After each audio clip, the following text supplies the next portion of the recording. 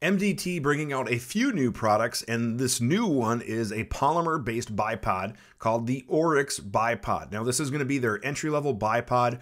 It's going to mount to either M-LOK or you can also mount it to like a you know QD swivel, things like that.